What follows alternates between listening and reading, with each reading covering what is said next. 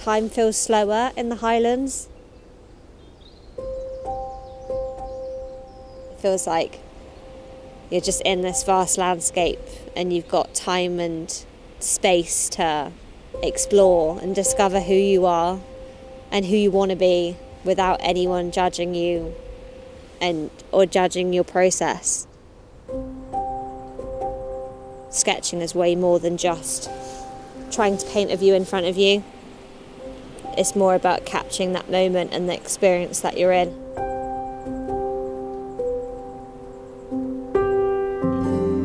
Three, nearly four years ago, I was in London, getting on a tube first thing in the morning, being squashed, and then sitting in an office all day trying to be inspired. It was just awful. It was just awful, uh, and just totally not right for me. Like for some people, they'd be like, "Why on earth would you give up working for a print studio where you can walk into a clothes shop and you can see your designs on clothes? Like that's so cool." There's just so much tension built up.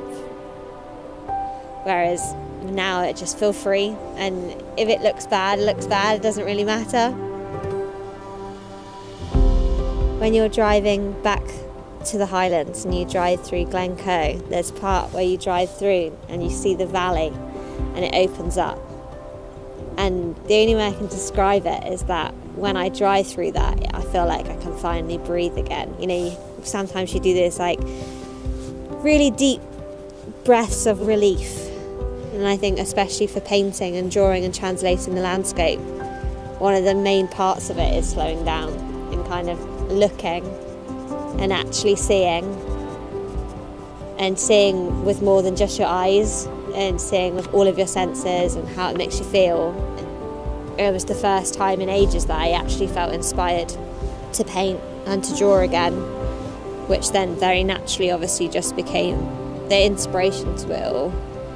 It is a it's a funny a funny life up here and I love it.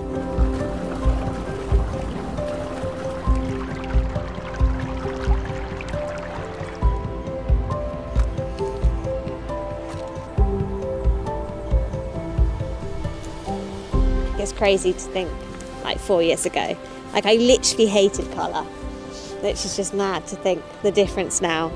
I can't think of what it would be like translating the landscape without it.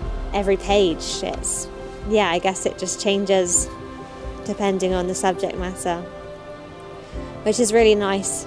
Um, and just not, I guess, not restricting yourself to defining yourself as an artist by a medium. Like, I think that's one thing that I just really can't get on board with. And I, I can totally understand why people do it. But for me, I think, I don't think I'll ever kind of hone down into one medium and that be it.